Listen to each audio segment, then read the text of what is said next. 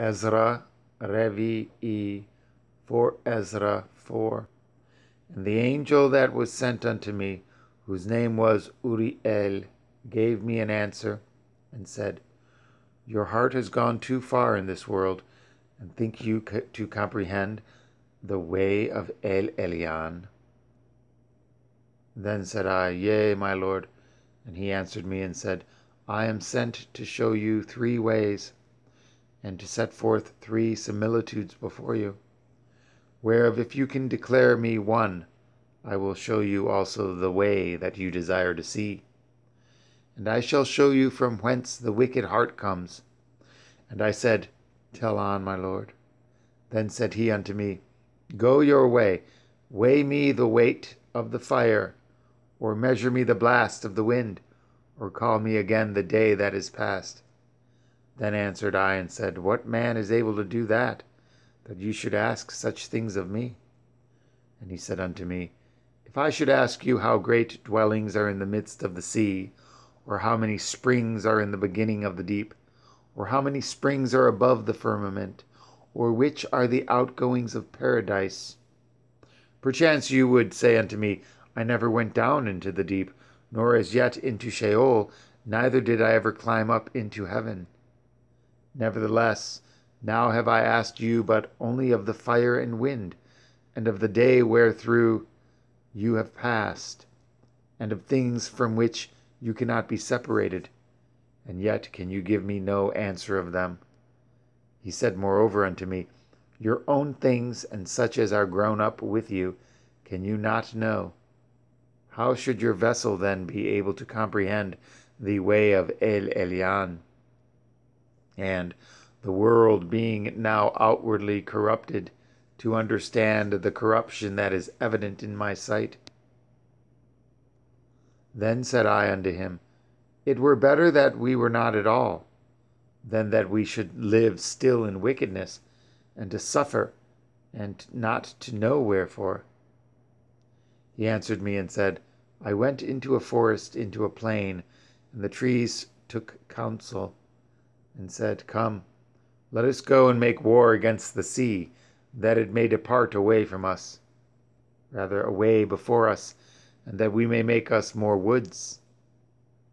The floods of the sea also in like manner took counsel, and said, Come, let us go up and subdue the woods of the plain, that there also we may make us another country. The thought of the wood was in vain, for the fire came and consumed it. The thought of the floods of the sea came likewise to naught, for the sand stood up and stopped them. If you were judge now betwixt these two, whom would you begin to justify, or whom would you condemn? I answered and said, Truly it is a foolish thought that they both have devised, for the ground is given unto the wood, and the sea also has his place to bear his floods. Then answered he me and said, You have given a right judgment, but why judge you not yourself also? For like as the ground is given unto the wood, and the sea to his floods, even so they that dwell upon the earth may understand nothing but that which is upon the earth, and he that dwells above the heavens may only understand the things that are above rather that are above the height of the heavens. Then answered I and said, I beseech you, O Yahweh, let me have understanding.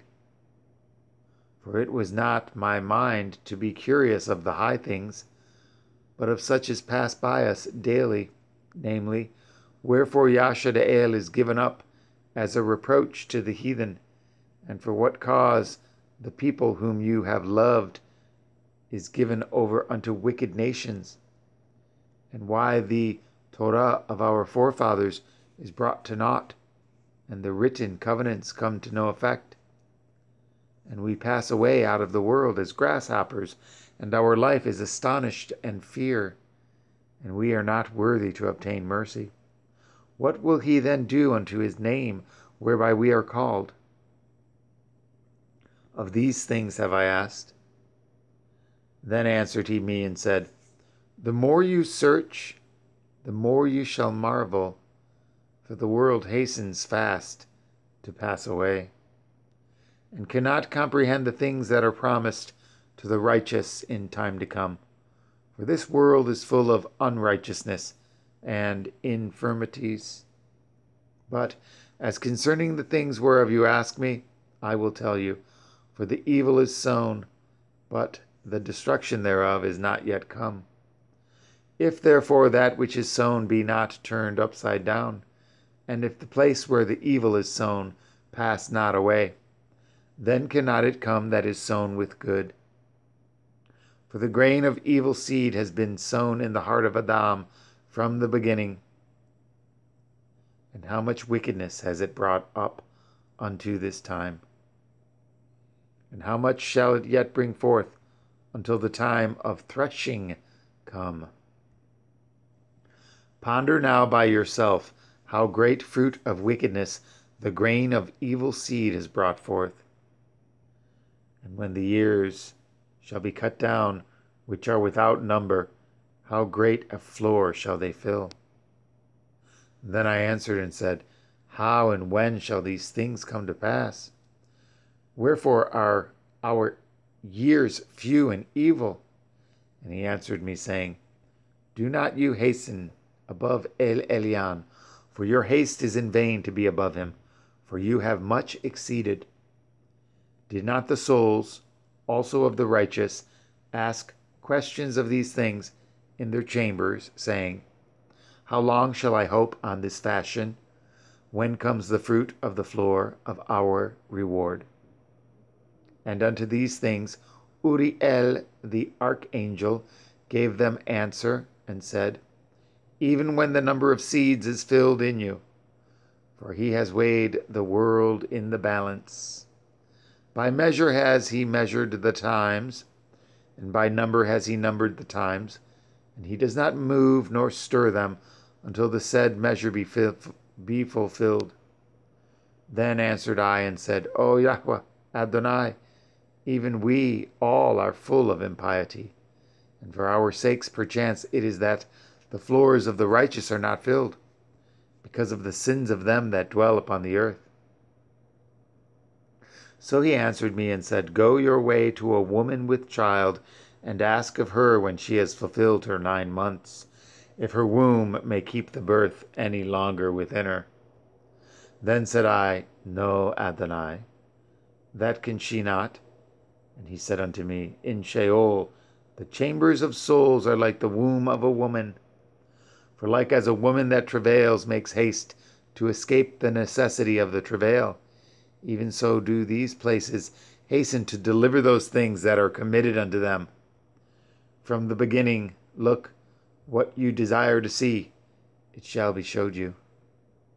Then answered I and said, If I have found favor in your sight, and if it be possible, and if I be met therefore, rather, and if I be meet therefore, show me then whether there be more to come than is past, or more past than is to come what is past I know, but what is for to come I know not. And he said unto me, Stand up upon the right side, and I shall expound the similitude unto you. So I stood and saw, and behold, a hot burning oven passed before me. And it happened that when the flame was gone by, I looked, and behold, the smoke remained still. After this there passed by before me a watery cloud, and sent down much rain with the storm. And when the stormy rain was past, the drops remained still. Then said he unto me, Consider with yourself, as the rain is more than the drops, and as the fire is greater than the smoke. But the drops and the smoke remain behind. So the quantity which, rather, quantity which is past, did more succeed rather, did more exceed. then I prayed and said, May I live, do you think, until that time? Or what shall happen in those days? He answered me and said, As for the tokens whereof you ask me, I may tell you of them in part, but as touching your life, I am not sent to show you, for I do not know.